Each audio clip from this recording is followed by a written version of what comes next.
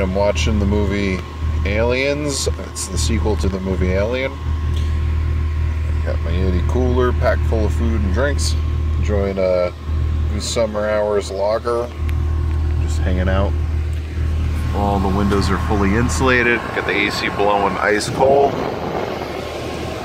Uh, in the back here, I got my full-size bed. I can stretch all the way out. Super comfortable. Got a power strip over here. I can plug anything in. It's all running on the generator.